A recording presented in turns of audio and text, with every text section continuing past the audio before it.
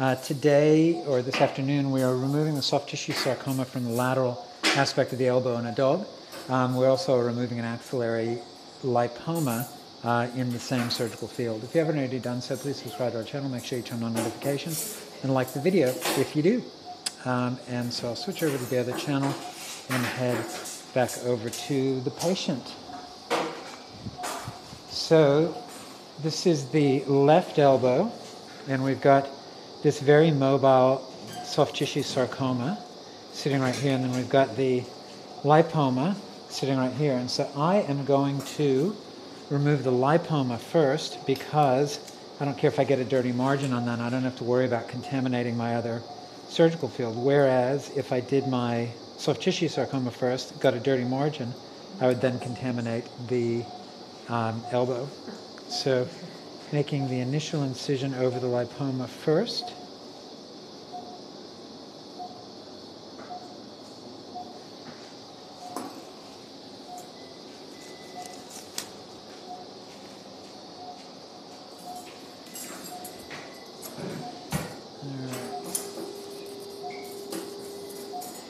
lipoma may be underlying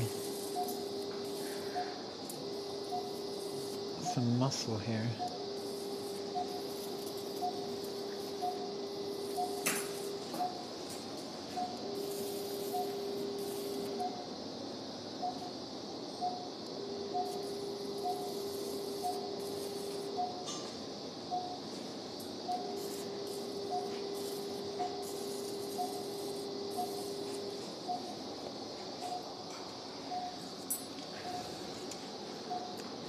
Washington State. So this is, for those of you who are joining us late, I'm removing just a little lipoma from the axilla of this dog, and then we're going to move over and take out this soft tissue sarcoma from the lateral aspect of the elbow. I'm doing the lipoma first just because I don't want to contaminate, if I get dirty margins, I don't want to contaminate the other incision um, with sarcoma cells. So lipoma first. I don't care if I get a dirty margin. And then soft tissue sarcoma second.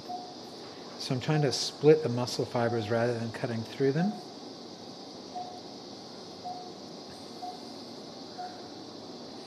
And I did cytology on this mass and I didn't get anything. And so then I just ran it quickly through the CT scanner. And CT might sound like overkill, but it's really good at identifying. Um, I'm sorry, I'm going to need those three, number three Gelpies. Um, so this is a German short-haired pointer. So taking out a little um, lipoma to start with, and then we'll remove a soft tissue sarcoma from the elbow.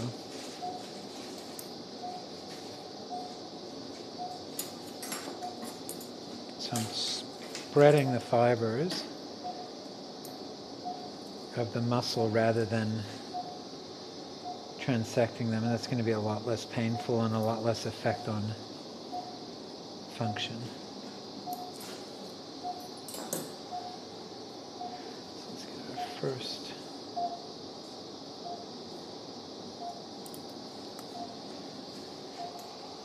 And the only reason why we're removing this, so it's usually we only remove lipomas if they're affecting function or if they're doubling in size in 30 days, but this owner was just concerned about it. And since we're already operating in the same area, um, to take off the soft tissue sarcoma in the elbow, um, they asked if we could go ahead and take it off at the same time.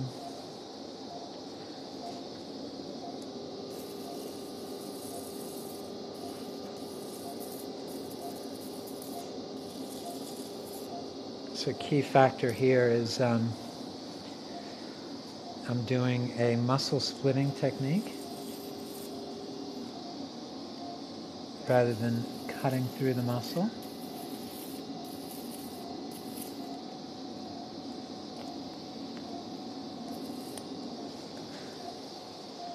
Can I get some 3O PDS, please?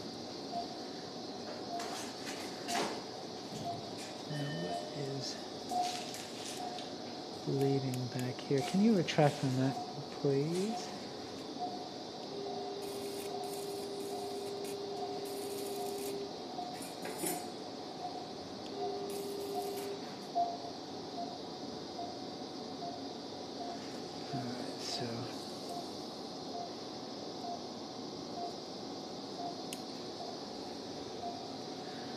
bleeding more than an amputation.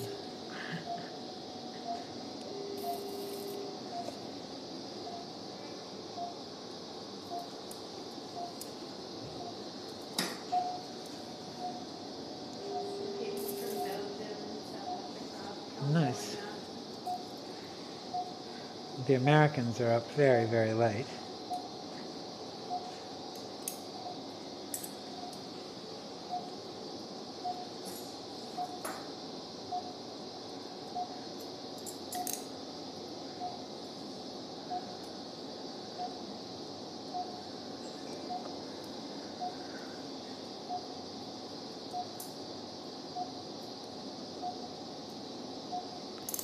So have no fear, this is not just a lipoma removal. We'll be moving over to the soft tissue sarcoma in a few minutes.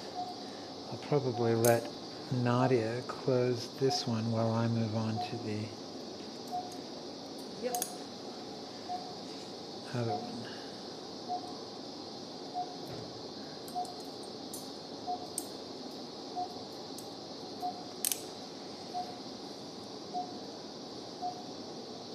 Californians are up. So what time is it in California? What time is it here? Five. Means it's about 3 a.m. East Coast, midnight in California, I think.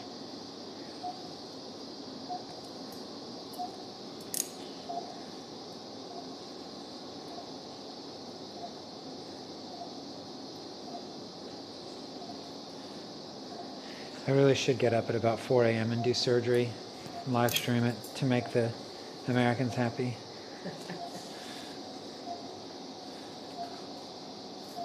and Canadians.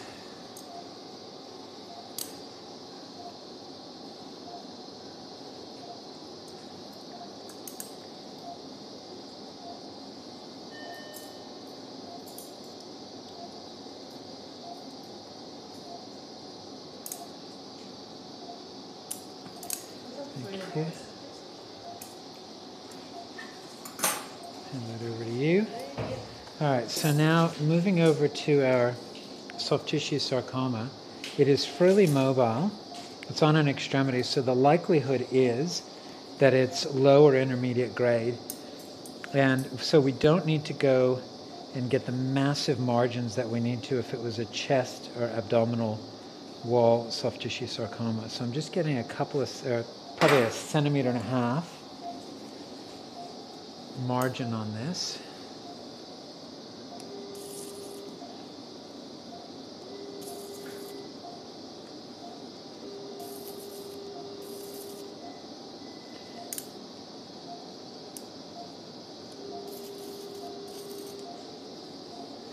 And that means that we'll be able to close it primarily because elbow um, reconstruction can be really challenging um, because it's a high motion area. There's a big bony protuberance there. Let me move this forward so you can see a little better what I'm doing here.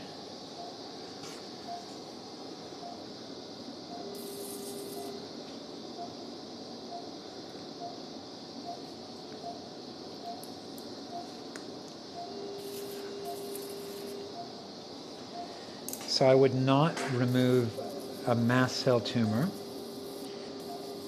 with a narrow margin on the extremity. I am happy though to remove a soft tissue sarcoma.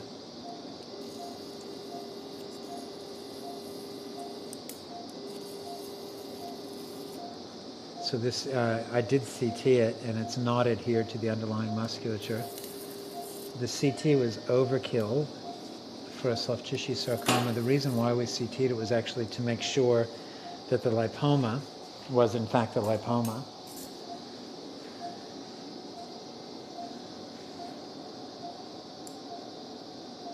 The elbow is notoriously a very bloody area. Again, a very robust blood supply.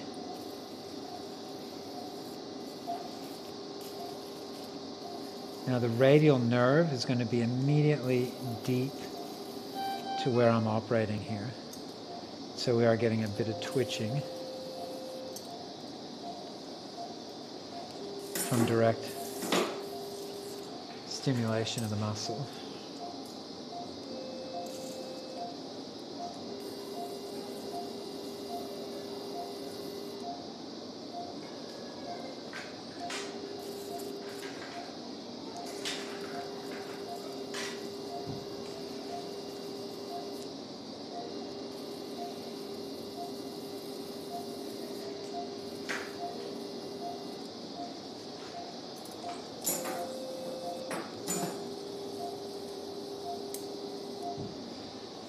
So that's our margin there.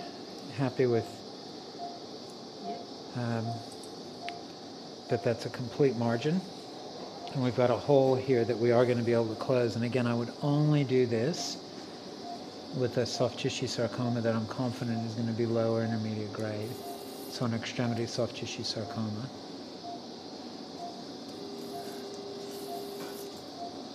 Can I please get some more 2O PDS? Uh, so there's a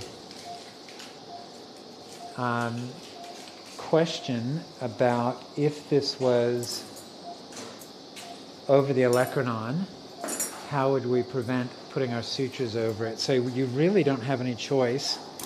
If you've got a mass over the olecranon, you've got to take that skin out. And so if it's going to be under tension, you're going to have an issue with dehiscence. And so what you can do is you can do a axial pattern flap, and that can be from the lateral thoracic, which is right here, the superficial brachial, which is right here, and the thoracodorsal, which is up here.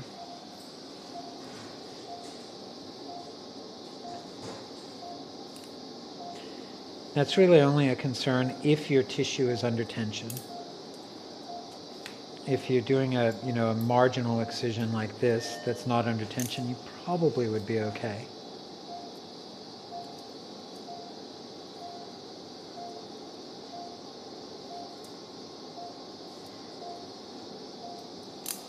So this is 2O PDS.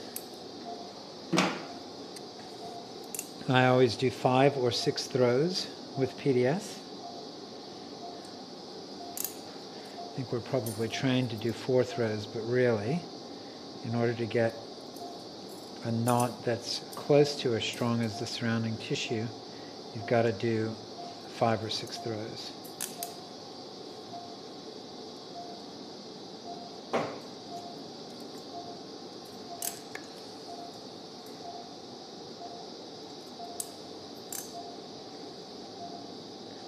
Now this is a high movement area.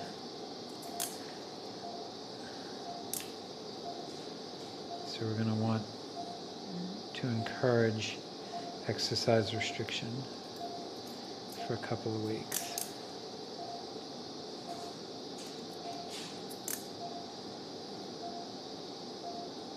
Any tips on suturing over high movement areas? Uh, just uh, so Nadia is asking me about tips for suturing uh, high movement areas. It's just doing a lot of layers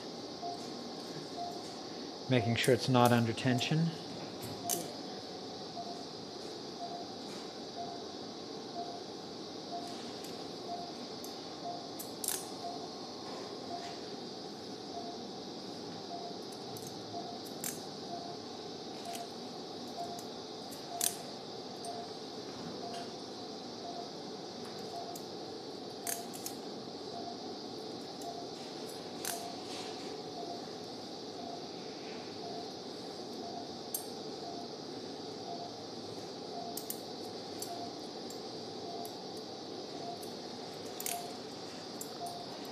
Hello, Turkey.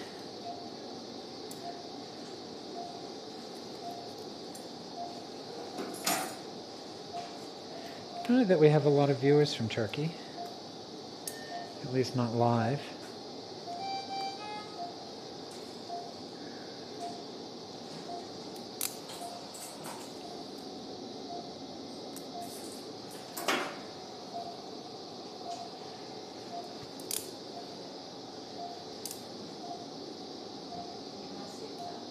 Okay. Uh, be all right for the minute. Thank you.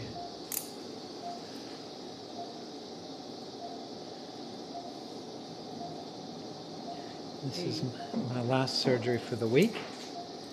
'cause I only operate Monday, Tuesday, Wednesday, although if there are emergencies, I'll come in and help out tomorrow.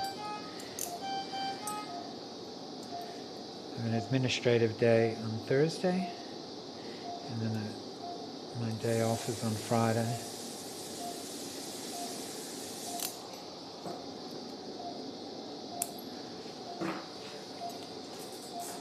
So anesthetically, we did a pre-med of acepromazine and methadone, induction with alfaxan, maintenance with isoflurane. Um, and we have it on a ventilator because all of our surgery suites have ventilators and we feel like it keeps the patient deeper under the anesthetic. Um, and we have these really nice servo ventilators, which means that it doesn't waste um, bottled oxygen to run the ventilator. And then post-op, we will continue with methadone overnight. And then because this is not a huge incision, we'll use codeine to go home along with an anti-inflammatory, um, which uh, I use a lot of meloxicam.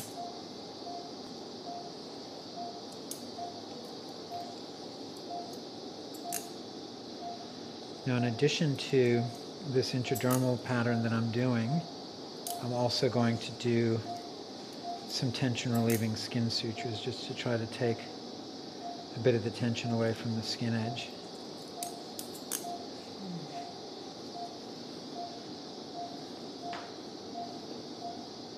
So is that like horizontal mattress and vertical? Uh, mattress? kind of, cr- kind of a cruciate. Yeah.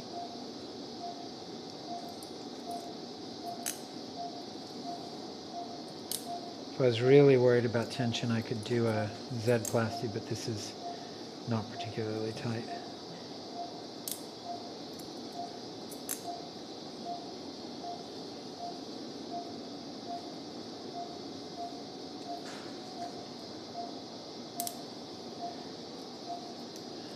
Exciting. We're, we're not far off hitting 4 million views on YouTube.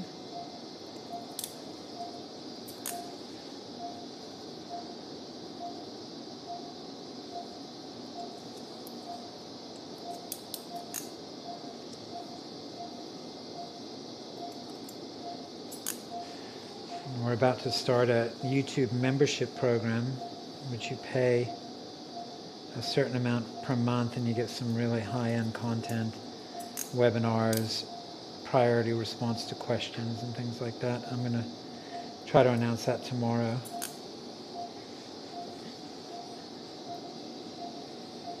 I have a bit more work to do to get that set up and decide exactly what additional content we're going to provide.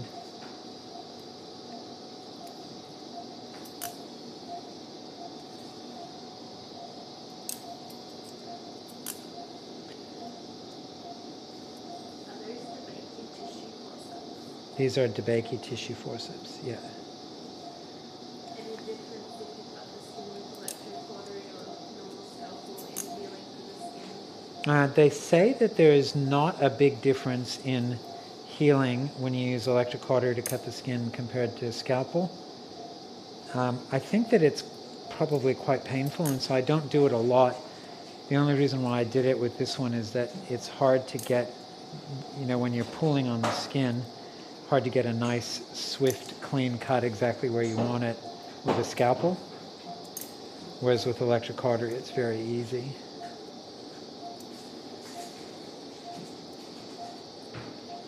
Can I please have some 2O nylon?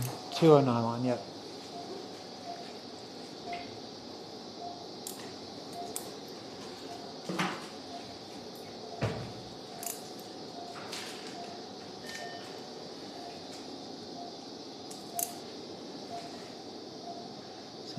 back away from the skin edge a little bit.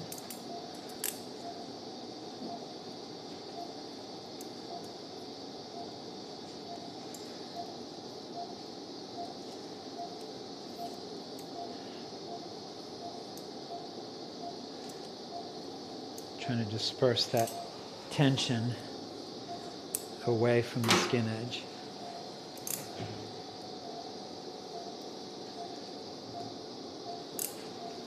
Take a second and let us know where everybody's watching from. I know we've got California. I think we've got Washington State. We've got Turkey. Is there anybody else watching from other places?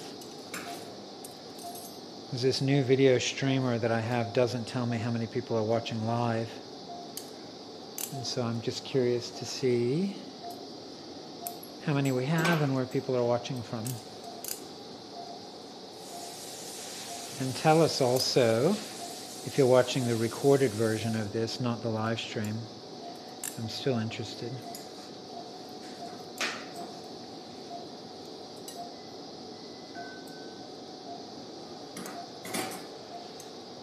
Malaysia.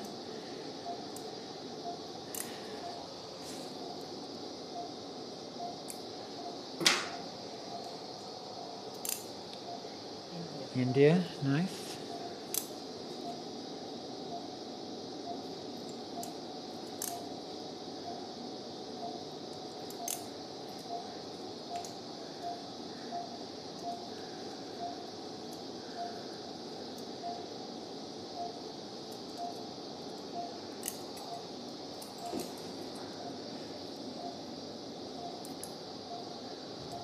There's one more suture and I don't have enough nylon, so I'll go back to my PDS.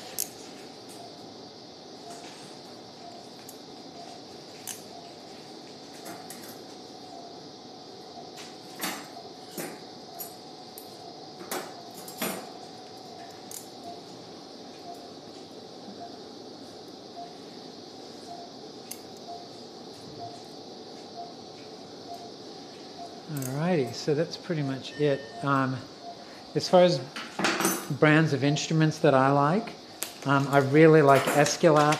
Sontec in the US is really good. Tiemann in the US is really good. Pretty much anything German um, is going to be really good. Um, and so that's what I tend to use. So Belgium, another from India, that's fantastic. So anyway, well, that's pretty much it for me. So thank you very- very much for watching. I don't think I'll be live streaming anything for the rest of the week, but next Monday I'm already fully booked for the whole week. And so um, I've got lots of cases to cut next week. Um, if you haven't already done so, please subscribe to our channel. Make sure you turn on notifications. And uh, don't forget to like and yep, subscribe, notifications, and